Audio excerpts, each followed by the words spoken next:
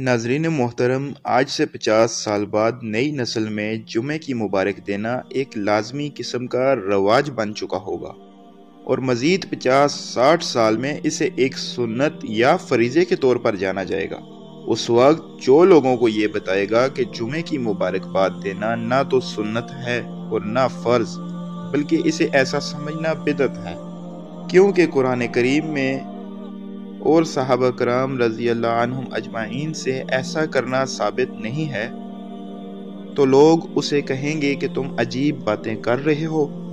हमने तो अपने बाप दादा को ऐसे ही करते देखा है और उनके उलमा भी उनको मना नहीं करते थे। तो तुम उन उलमा से ज़्यादा इल्म रखते हो? तो नाजरीन मोहतरम, वो लोग उससे झगड़ा करेंगे और कहेंगे कि तुम तो नई बात कर रहे हो।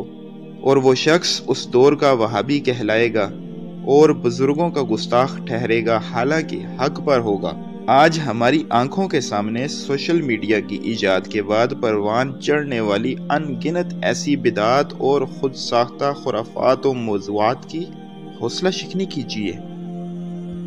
और अपने आप को और आइंदा नस्ल को बिदात से बचाइए।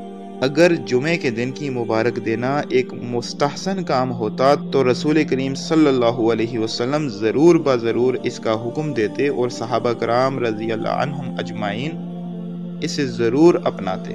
क्योंकि वो दीन की समझ और नेक अमल की मोहब्बत में यकीनन हमसे आगे थे।